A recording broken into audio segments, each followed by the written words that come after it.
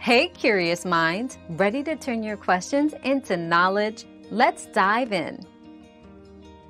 If you're experiencing uncontrolled bleeding, it's critical to seek medical attention immediately. This could be a sign of a serious condition such as a bleeding disorder, medication side effect, or more urgent health issue. Until you can get professional help, apply direct pressure to the wound if it's external. Remember, timely medical evaluation is essential to determine the cause and appropriate treatment for your situation.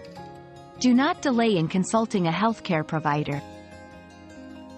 Your daily dose of discovery ends here, but the journey of learning never stops. Subscribe and join us again for more answers tomorrow.